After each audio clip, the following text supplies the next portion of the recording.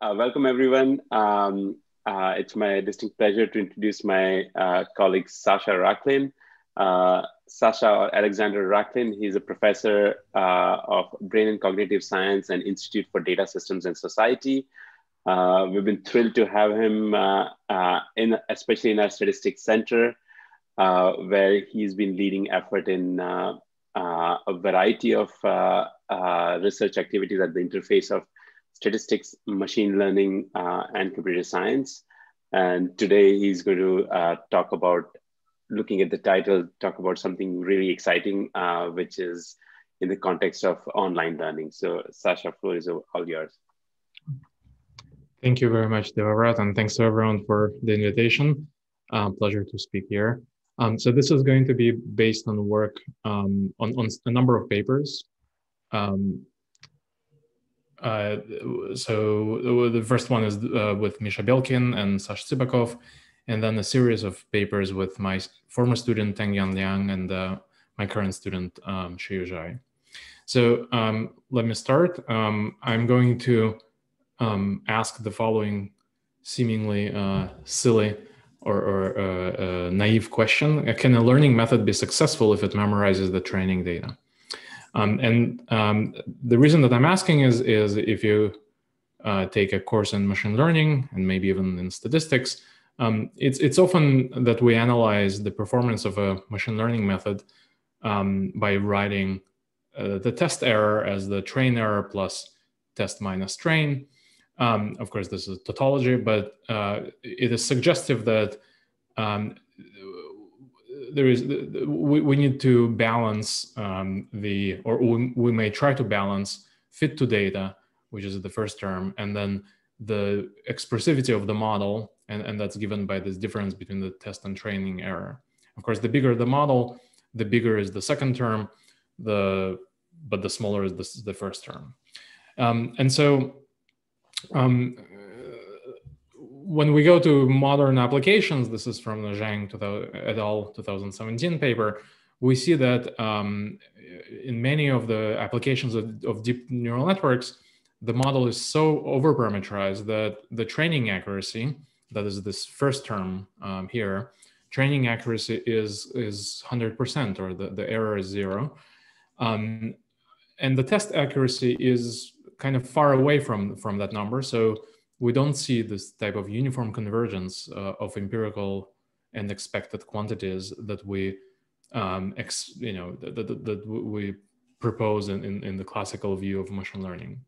So this has been a, a, a an observation that was repeated uh, in a number of papers and and um, in the last two three years there has been a push to try to understand mechanisms uh, for why um, such a discrepancy can can can happen between the train and test accuracy.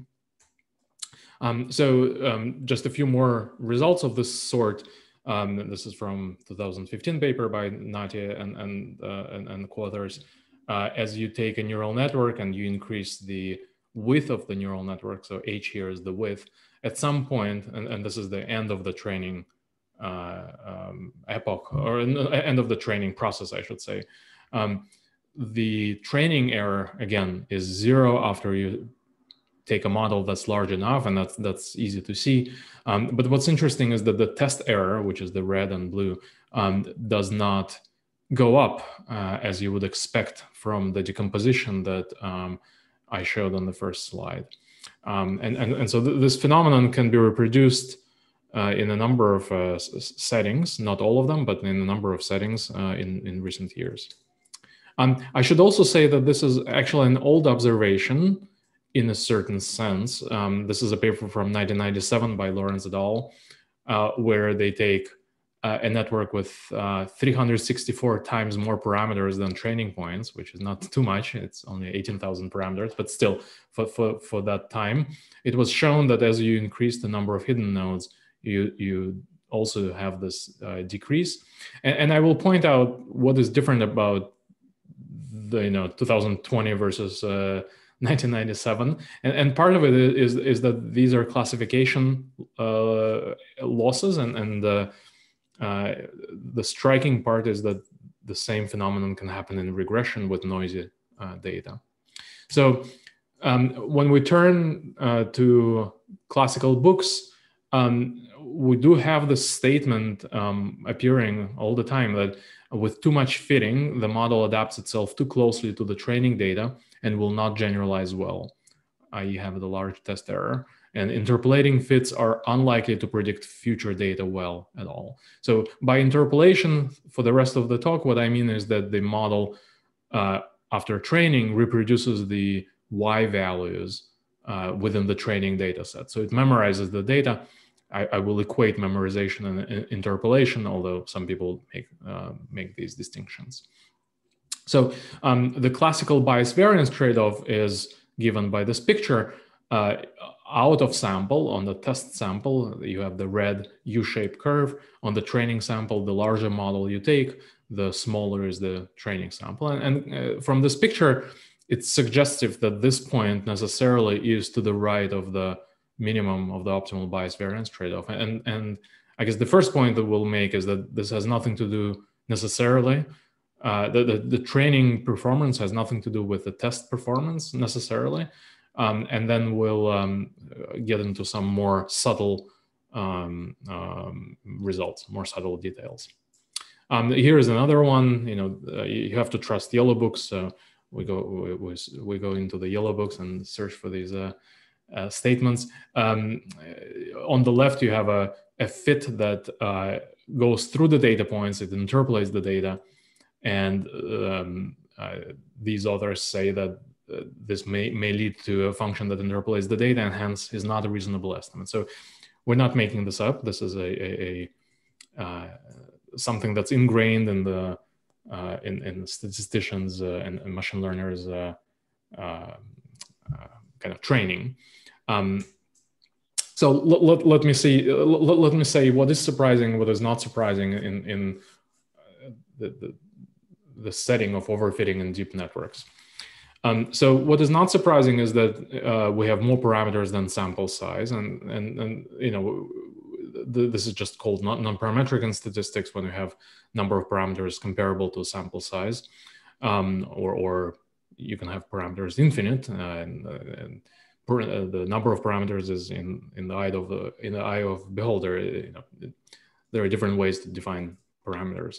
Um, another thing that's not surprising is that good performance with zero classification loss on training data uh, can be obtained, and, and and there is margin analysis that allows you to trade off uh, the regression fit and, and, and, model complexity. And, and in fact, uh, the observation from AdaBoost that um, even after perfect fit, that was in the 90s, um, the margins keep increasing.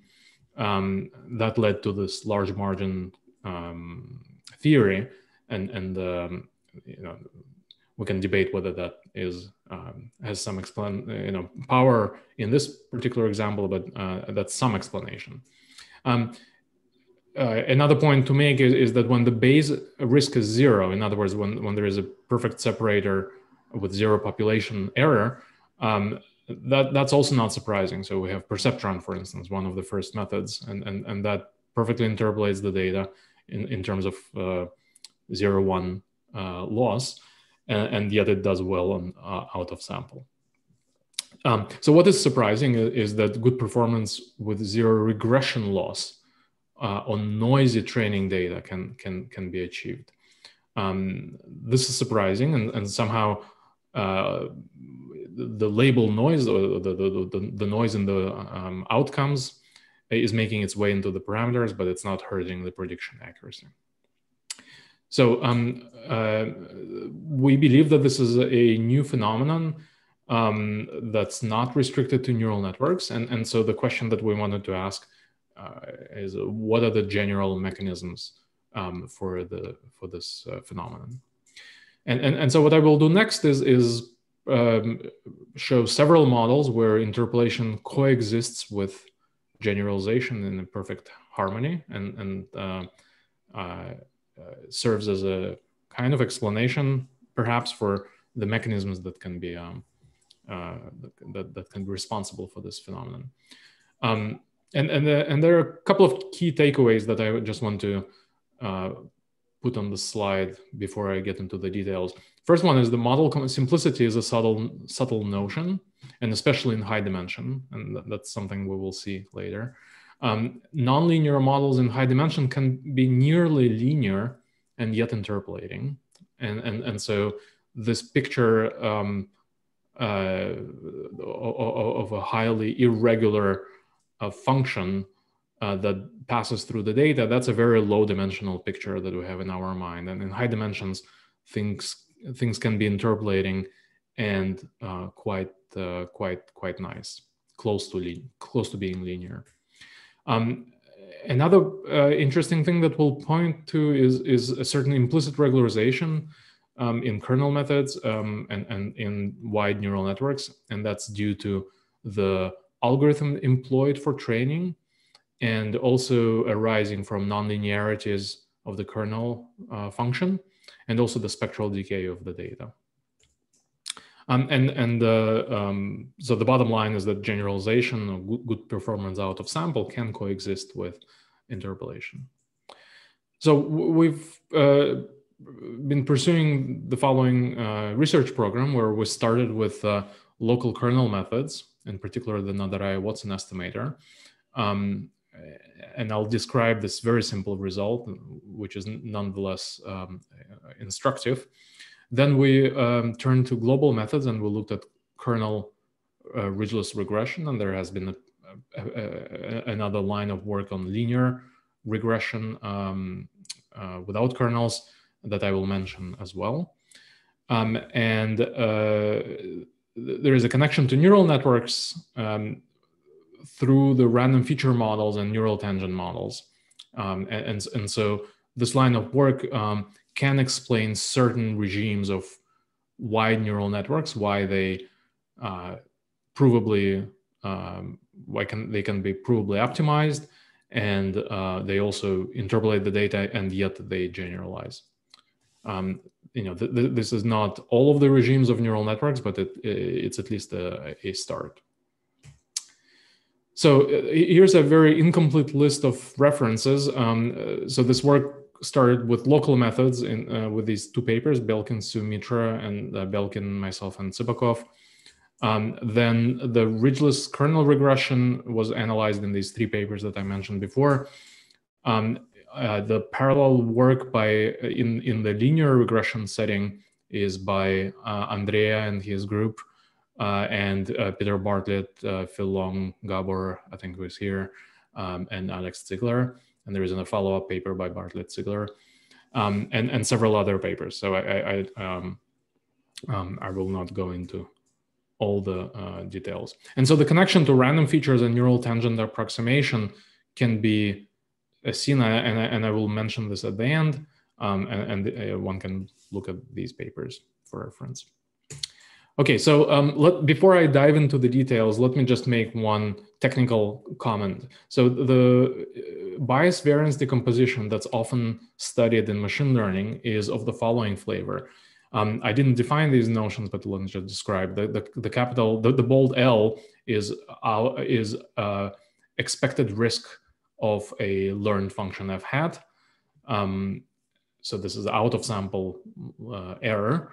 Um, and when you compare it to the Bayes error, to the best possible over all functions, over all measurable functions, um, we typically split it into the estimation error and approximation error. This has been at the heart of um, machine learning since the work of Vapnik. Um, the reason is that the estimation error can be analyzed using uniform convergence results over this class of functions f. And uh, the rest is an approximation error, how well this class F approximates uh, the, the Bayes um, error. So this is a type of a bias variance trade-off, but there exists a, a different bias variance trade-off, uh, bias variance decomposition that's often studied in statistics for square loss in particular. It can be written in the following form.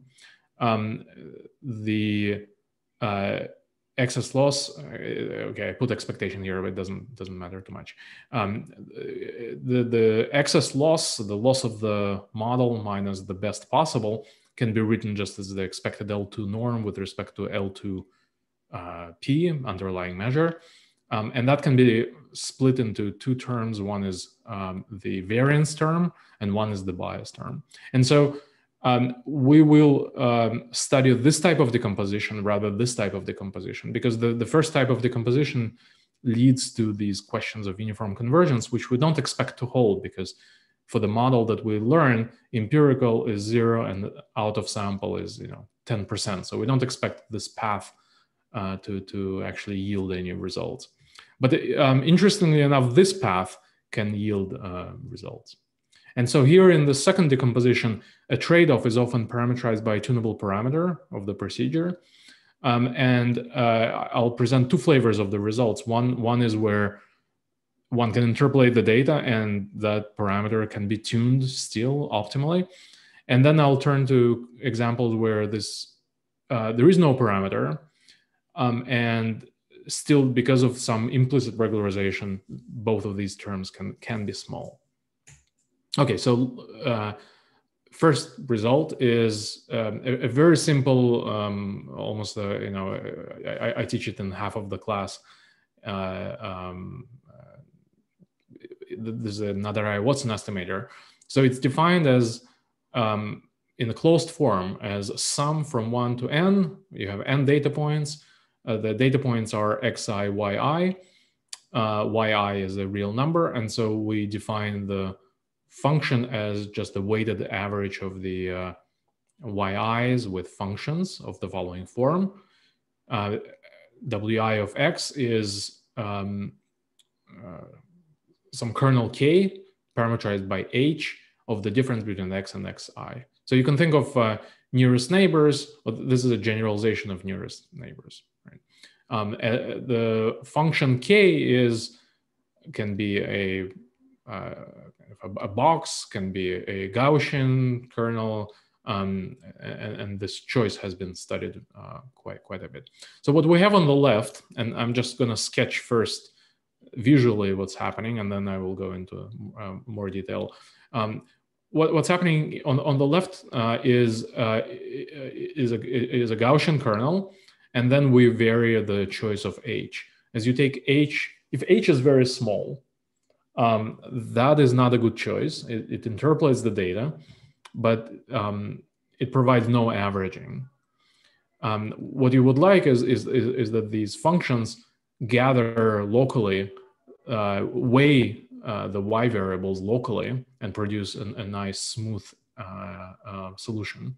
And so pr probably in a stat class, I would say that h 0.05 maybe in this case, visually is, is a good um, uh, choice or, or maybe 0.1 and then and then you over smooth right this is an over smooth solution probably um, now it, it, turns out and this was noted by in, in the paper by uh, Devroye et al. Devroye et al. in I think 1997 or 1999 that if you take a, a kernel that's singular at zero then um, this weight becomes um, uh, one at the point in the data set and something else outside, right? So, so the point is that if you take a kernel that's singular, goes to infinity at zero, then it will always interpolate. And so the solutions that you get are kind of like this.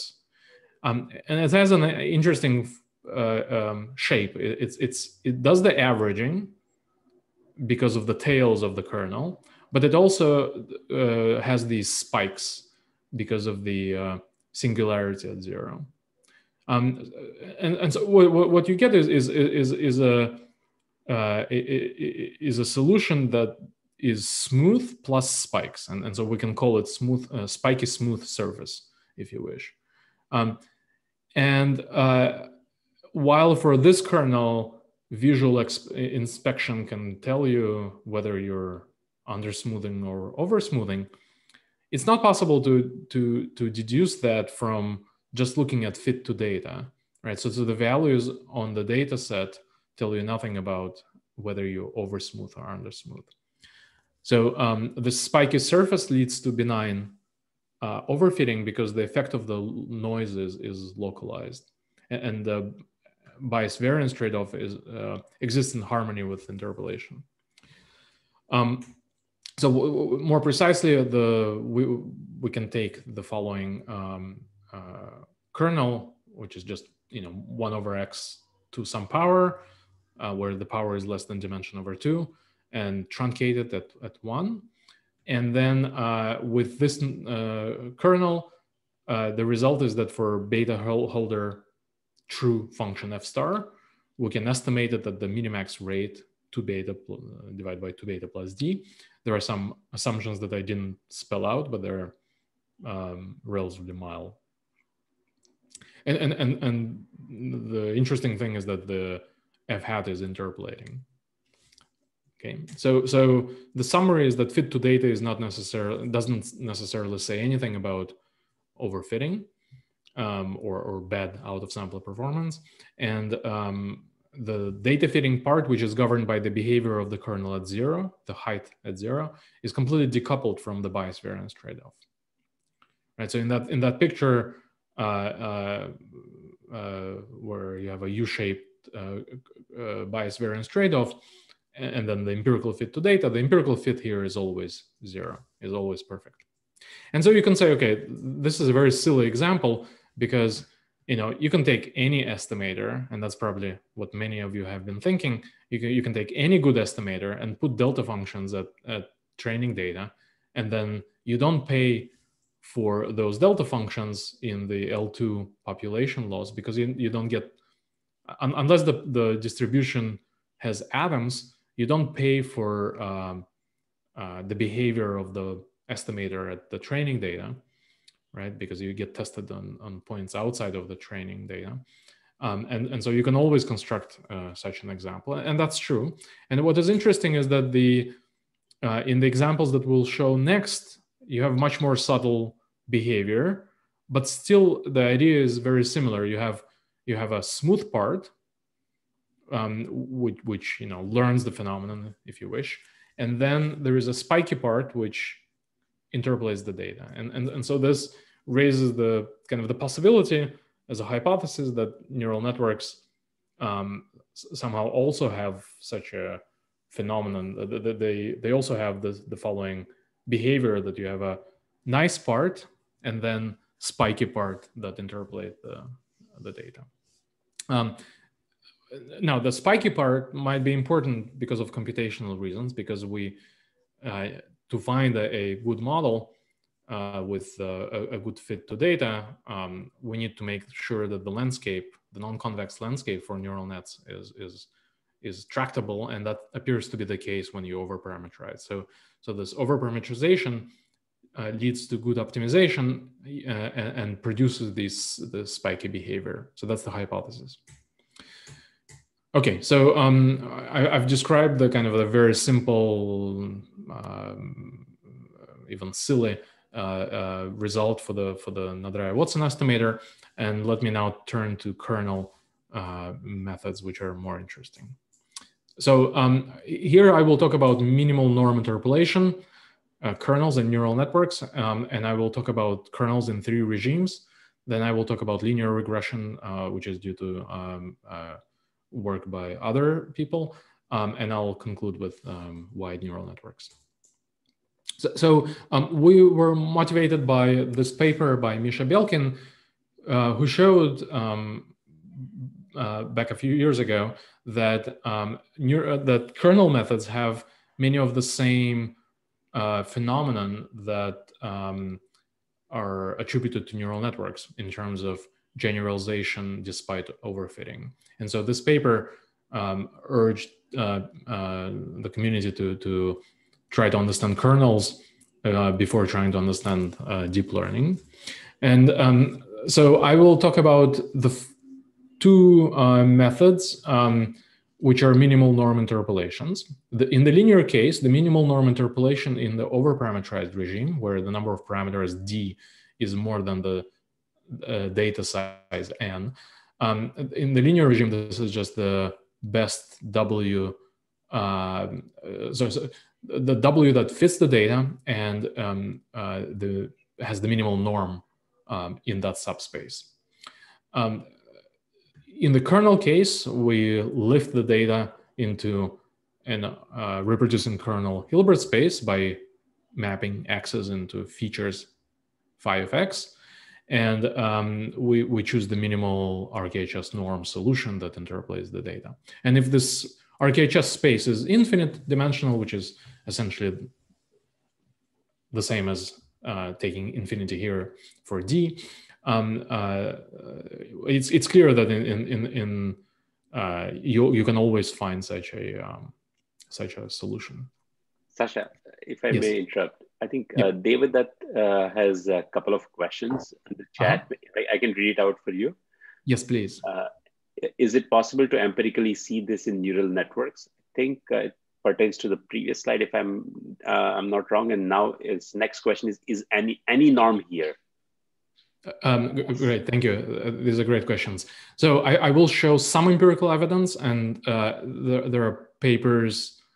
Um, um, let me postpone that and, and, and I will I will try to answer. In terms of the norm, um, we will consider L2 norm, Euclidean norm here, and this is the RKHS norm. Um, and the reason that we consider L2 uh, uh, and, and RKHS is that um, gradient descent on the uh, square loss objective converges to a minimal norm solution. Um, and, and so it's natural to study this. Uh, um, this W hat. And um, in the same manner, uh, for wide neural networks, randomly initialized with a special kind of uh, uh, scale of initialization, gradient descent on those wide neural networks also converges to a minimal norm interpolant, where the, the norm is an RKHS norm with respect to a, a neural tangent kernel, NTK. So, so uh, the these choices of these methods are not uh, ad hoc. They, they, they do come from uh, certain uh, basic considerations. Um, now, in, in terms of the empirical observations, let, let me just postpone that for, for a little bit.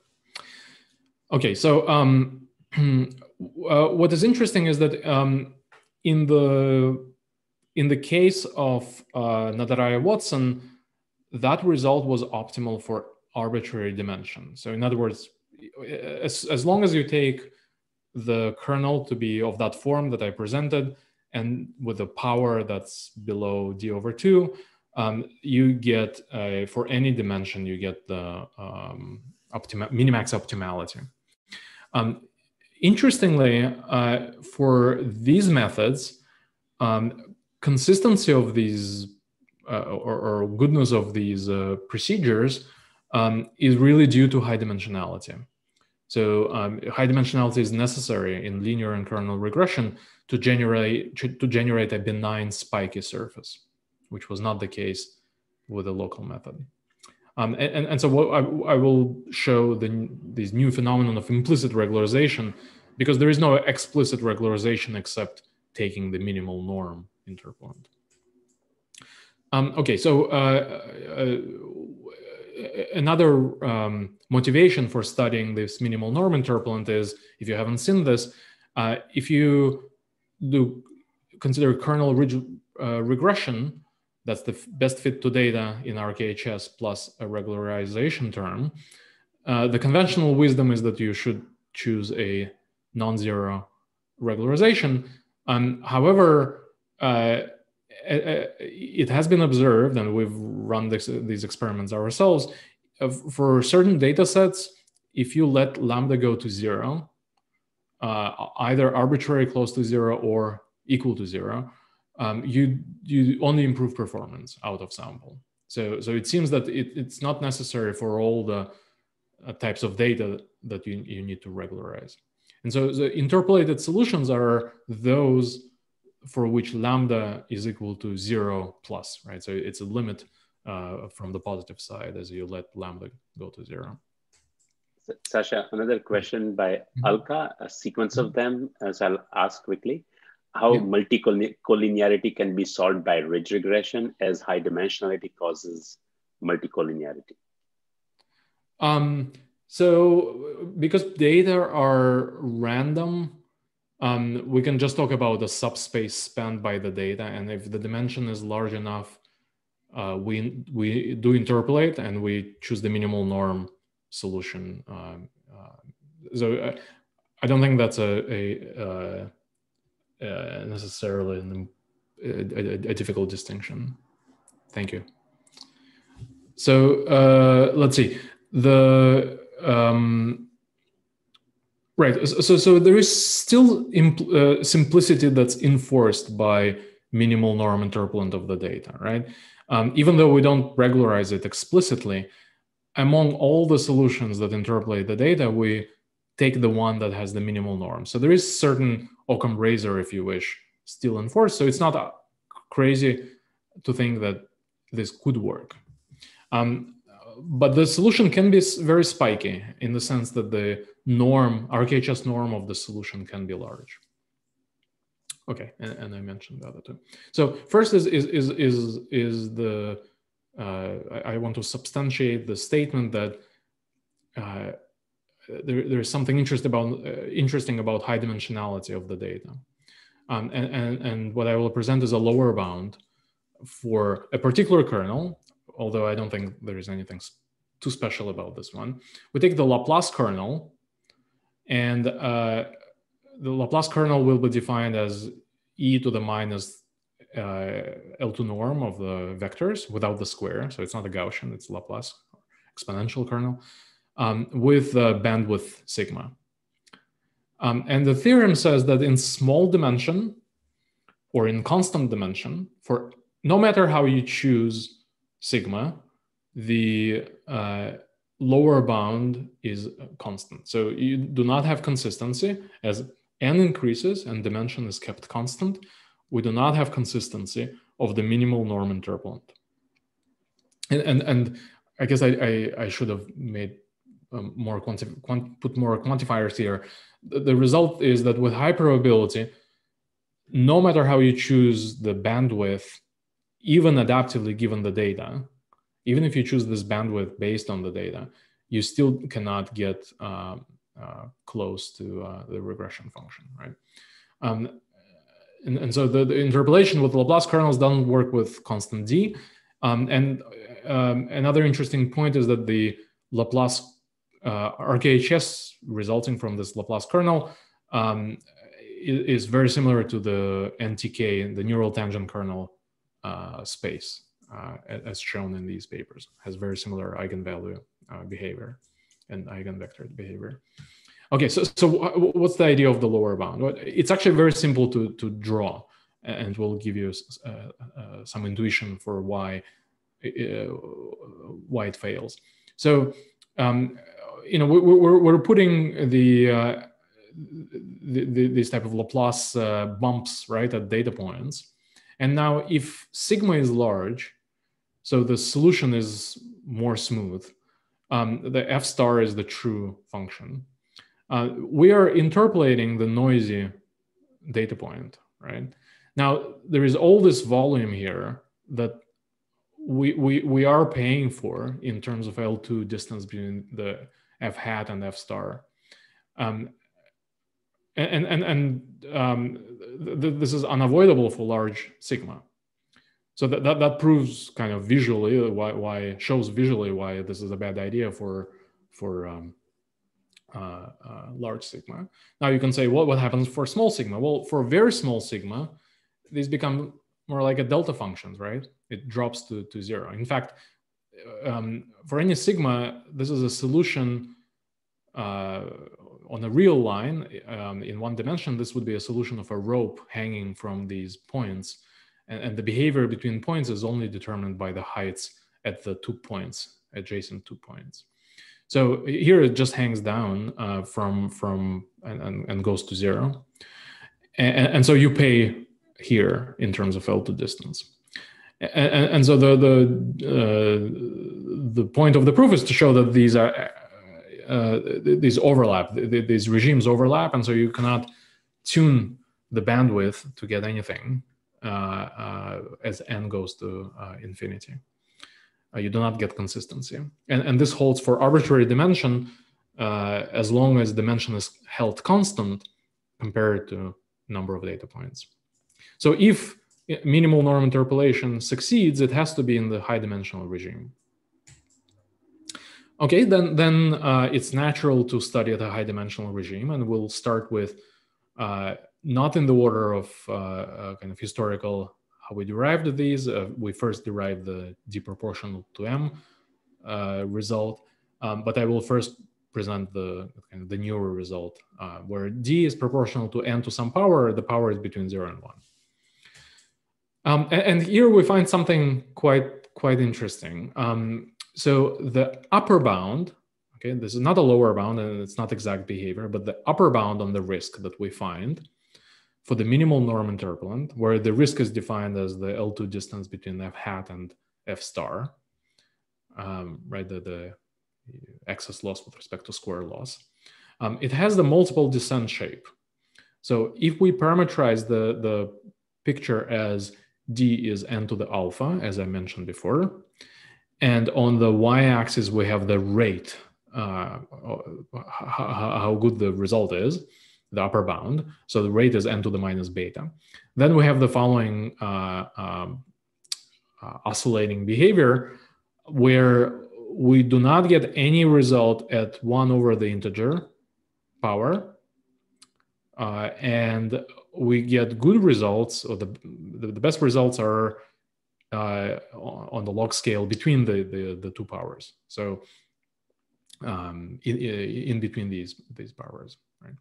So uh, there, there, are a couple of uh, conclusions. One is uh, the the minimal norm interpolation in higher dimensional regimes can succeed, provably with some rate that goes goes down to zero, um, un unless we are close to these uh, one over the integer powers.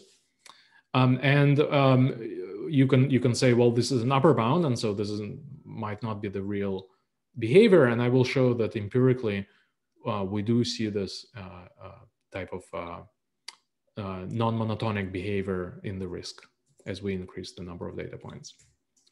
Um, so I will present just a one slide sketch of the result, and then I will pre present a three slide sketch.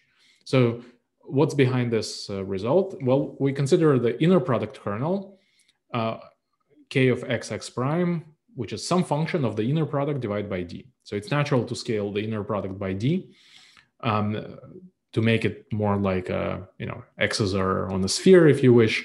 Uh, now, coordinates of x will be independent and, and, some kind of assumption of that form is necessary because we we know that for low dimensional uh, for low dimension we shouldn't expect the result to hold. So we have to it has to be a high dimensional phenomenon. So some independence of the coordinates uh, has to be there some form of independence.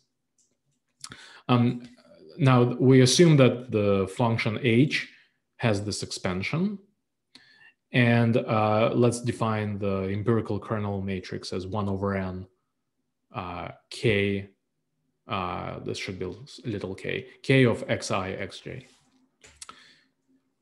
And the idea um, that will be repeated in several other uh, slides is that we consider the smooth and spiky part. We consider the signal, so to say, and then the spike uh, that allows you to interpolate. So you can think of uh, decomposing this matrix K into two matrices. Now this is a random matrix, random kernel matrix K. And the truncation will be given according to the degree of this function H.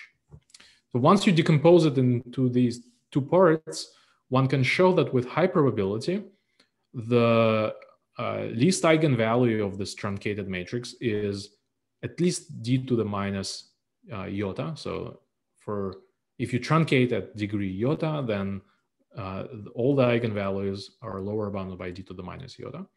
And also for the for the tail part, um, th this is a much simpler bound that's one over n. Um, and, and so uh, with, some work, after you we've established this, you can show that the L2 risk, the closeness of f hat and f star, is driven by uh, two terms. One is d to the iota over n, and then the other one is n over d to the iota plus one, and that gives that um, that shape that I showed before. Right, you have good performance at when n is exactly at d to the you know iota plus one half, um, and there's there's some kind of implicit regularization between these integer powers because we didn't do any explicit regularization, right? We, we, we didn't uh, uh, regularize the problem, we just uh, fit the data and took the minimal norm solution. Okay, so let me go into some more details on this. I guess I have maybe 10, 15 minutes.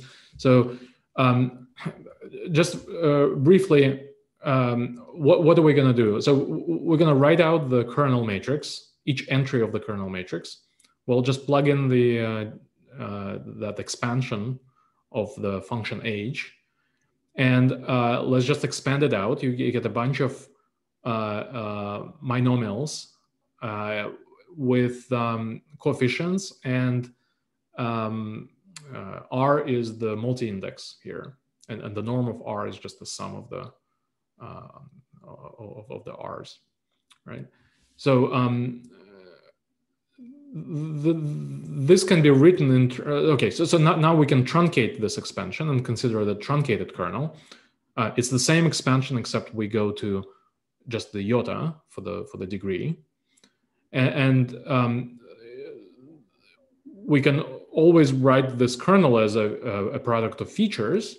And so this also has, the, the truncated kernel has a product of feature representation, phi, phi transpose. So you can think of the uh, data from the uh, you know the original data matrix X as being transformed into these polynomial features, uh, where the features are now in the dimension uh, d choose i roughly, right? d choose i or d to the i if you wish to uh, uh, round up.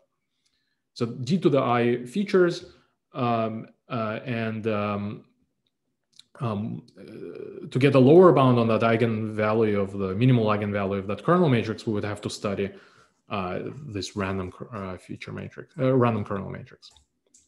So here's the theorem. Um, it, it, says that um, uh, under some weak assumptions, um, we don't even need sub-Gaussianity. We just need for each coordinate to have some polynomially decaying tails. Um, with high probability, the kernel matrix truncated at iota has, as I mentioned, d choose i non-zero eigenvalues.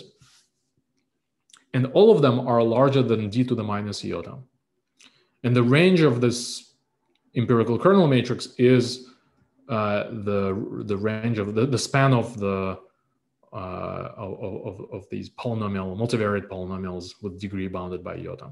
So the, the, this, this theorem gives you a uh, a this what Andrea Montanari calls a staircase phenomenon. So you have increasing lengths of eigenvalues, um, uh, which are smaller and smaller, right? So so there is a step of d to the iota eigenvalues. Each one of them is d to the minus iota, and then the next one is uh, uh, smaller, but there are more of them, and so forth. Right? So th this gives the structure of the uh, eigenvalues of that random kernel matrix. And um, let's see, maybe I should skip this quickly. Um, uh, so th these features are hard to analyze because of correlations. As you can see that just from the definition, there are lots of correlations. Uh, uh, what we do is we do Gram-Schmidt orthogonalization process uh, to change the basis. Once we change the basis, we consider new features, psi, and these features are weakly dependent. So we, we, we can show that these features are more tractable. And, and so with this feature representation, um, uh, it's, it's easier to show a, a, um, a, lower bound on the smallest eigenvalue. And this process, importantly, that this process, the Gram-Schmidt process, uh, has a bounded operator uh, uh, norm. And, and so you don't disturb the eigenvalues in this Gram-Schmidt process. So this is a genetic procedure for uh, uh, changing the, the, the, the, basis and, and looking at better features uh, for our problem. So we don't have to consider specific Gaussian uh, random variables and, and, and uh, do the usual Hermite polynomials and stuff like that. Um, so um, the result uses the kind of the techniques from small ball uh, method, which were uh, pioneered by Koltchinskii and Mendelson. Um, so if you can establish a comparison of the fourth moment and the second square of the second moment, then we can establish uh, um, uh, a, a low, essentially a lower bound on eigenvalues using using the techniques similar to Koltchinskii and uh, Mendelson.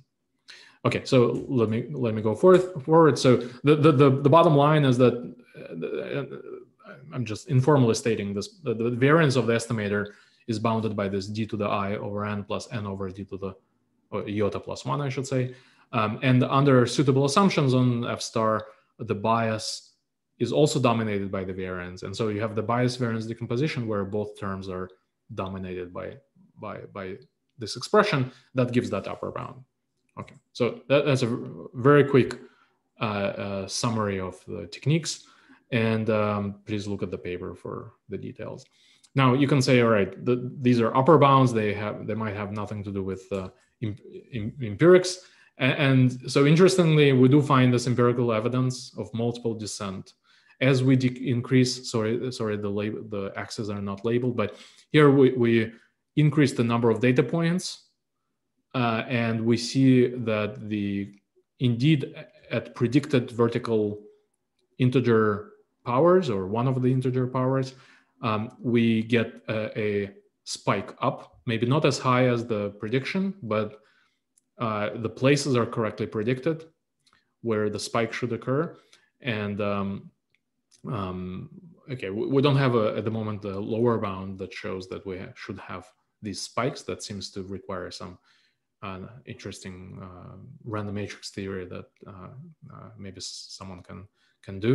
Um, uh, but yes, so so since since uh, this work, there have been papers, some of them from Harvard, showing that in neural networks you have the same non-monotonicity phenomenon that you, as you increase the number of data points, the out of sample performance has these uh, alternating uh, up and downs in terms of behavior. And, and, this is very counterintuitive because you think that the more data you have, the, the better uh, the result should be. But it's not the case for these uh, um, minimal norm interpolants because uh, the conditioning of the matrix uh, changes uh, with with the number of data points. Essentially, the, the idea is is I, I can briefly describe the idea. The as you uh, when when n is equal to d to the iota exactly, um, you have you can.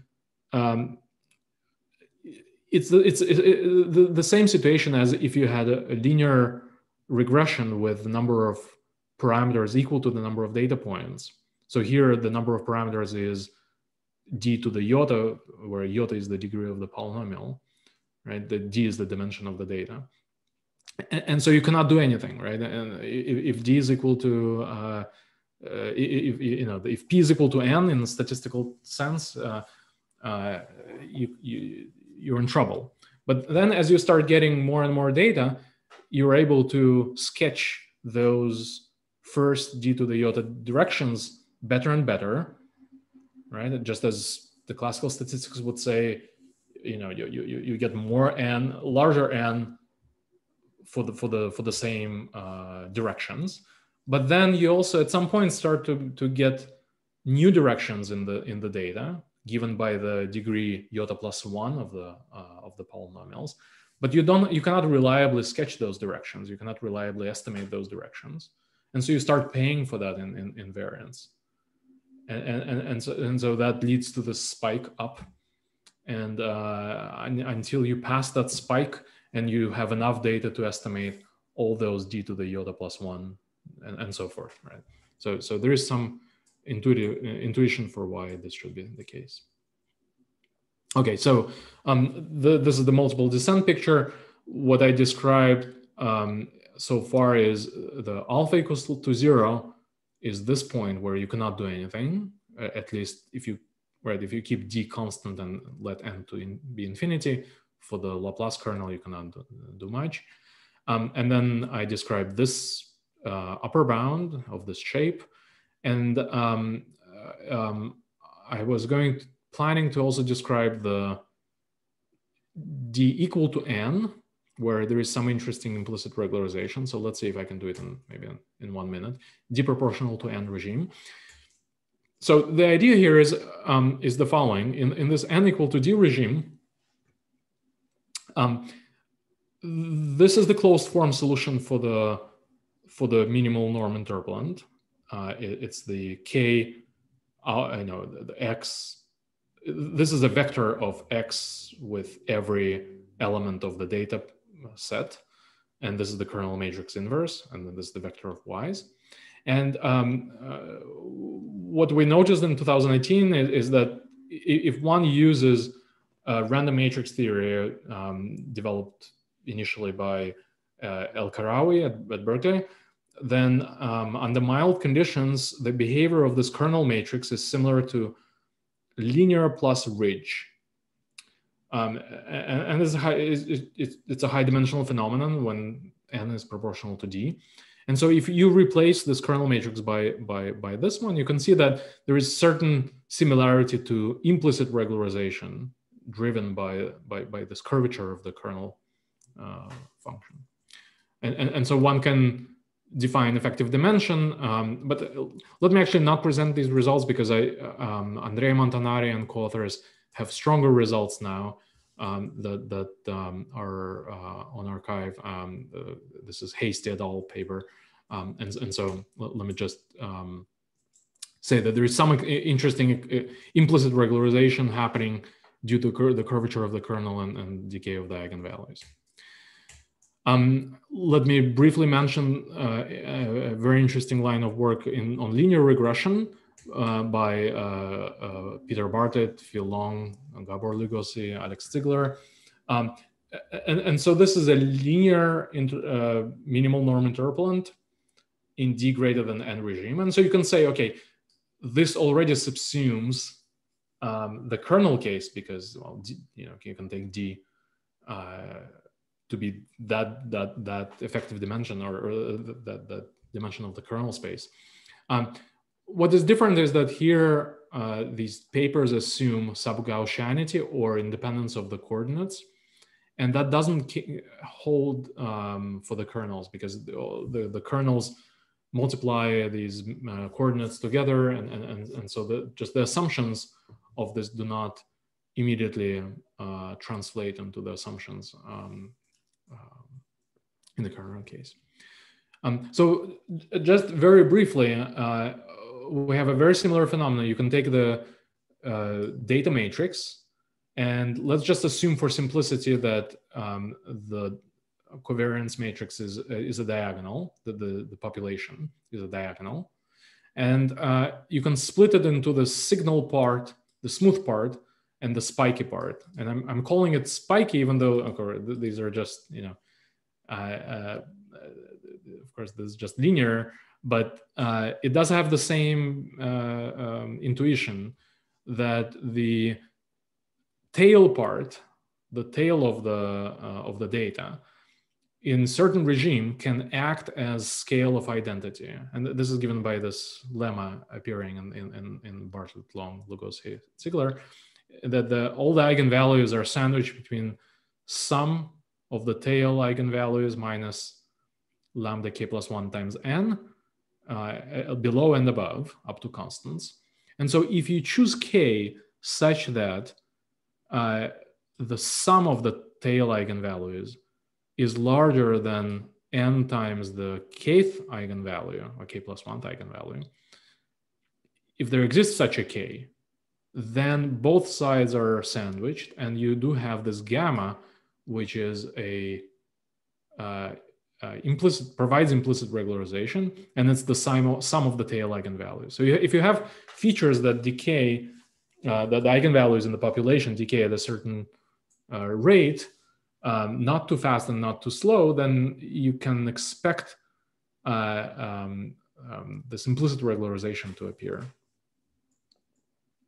um, and uh, I'm happy to answer a question. So let's see, how, how much time do I, should I, I should wrap up probably. Yeah, I, I think so. Yeah. And um, okay. there's one. There are two questions from Dev that are waiting, and I thought I didn't didn't want to interrupt. So uh, mm-hmm. maybe you can take at the end. That's, that sounds sounds good. Yeah. So let me just say that um, uh, just one last minute is that the how is this connected to neural networks? Well, so take for simplicity one layer neural network, um, uh, one hidden layer in neural network. Then um, if you randomly initialize and keep uh, uh, uh randomly initialize these directions W, this is a random feature model where you only optimize over the coefficients of this top layer.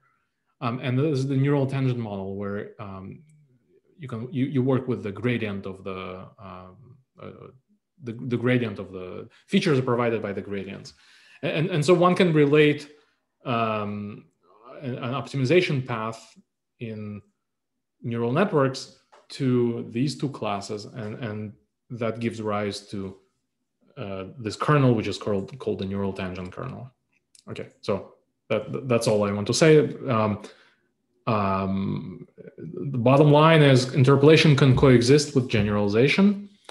Uh, we found uh, several interesting uh, uh new implicit regularization methods that, that seem to uh, guarantee um, good out of sample performance despite interpolation. And I guess just model complexity is a subtle notion. So, you know, you can, you can uh, uh, I was always unsatisfied when I was learning uh, machine learning and statistics. That the, the some Occam razor was was postulated as taking the simplest model, but then it was always in terms of regularization. And, and here you can see that simplicity can be enforced even though you go through the data points. Thank you. Thanks, Sasha. Uh, so there are three questions I have. Um, so I'm going to read them one by one, uh, and then maybe sort of, and there's one more, uh, or maybe, yeah. Okay, so let me sort of st start before it starts getting longer queue. So uh, Dave, this question is, conventional wisdom is that there are no spikes for neural networks. The loss goes smoothly down with increasing data. And another question from that is that even for the simple one layer wide neural network used in tangent kernel papers, do we have the spiky behavior? Right. So uh, uh, the first question was was I understand the the observation that empirically, as you increase uh, the number of data points, you have uh, a steady decrease. Um, so uh, possibly I, I, I haven't done those experiments, but there are papers uh, that suggest otherwise, at least in certain regimes. So I should say that these results are very particular uh, it, it, could very well be the case that under some mild additional assumptions, these bumps disappear. So um, it's very well possible that we don't, in many situations, we wouldn't see those bumps. Um, and what was the second question is the, for NTK, whether we have the spikes. So the NTK um, is a particular kernel it's an inner product kernel, except it also depends on the norm of the uh, of x and x prime. And for that kernel, uh, the same result holds in terms of the multiple descent, at least under the assumptions that we have. And so, at least in theory, um, okay, th these are upper bounds, so we don't know um, whether they are truly there. But I do, I do believe that some kind of non-monotonicity is expected. I should also say that um, the result by uh, results by Peter Bartlett and Gabor Lugosi, um, you can engineer any type of landscape for the bias variance. Um, you, you, you can end, it, it can have arbitrary, uh, you know, uh, almost arbitrary behavior um, if you let me design the population distribution. Whether that is true in distributions that we encounter in practice, I don't know. And um, maybe one last question uh, by Manjunath. Uh, thank you for a very nice talk. Is there a similar theory for recurrent neural networks?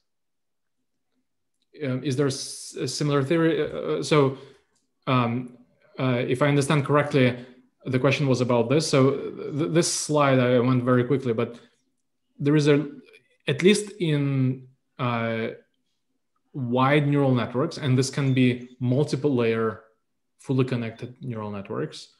Um, there are results that show that for, if you take width large enough um, compared to uh, the number of data points, um, and randomly initialize, and you start the gradient descent or, or gradient flow, um, then you converge to a minimal norm interpolant solution with respect to this and uh, neural tangent kernel. So all the, the all the results that I've mentioned before about kernels apply to these models.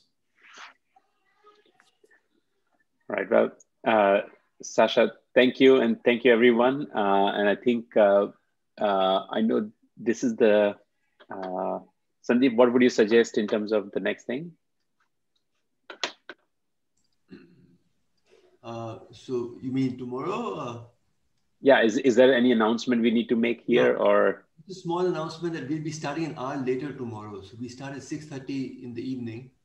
We have a couple of talks, and then we break for dinner, and then we have a late night talk tomorrow. Okay. All right. Okay.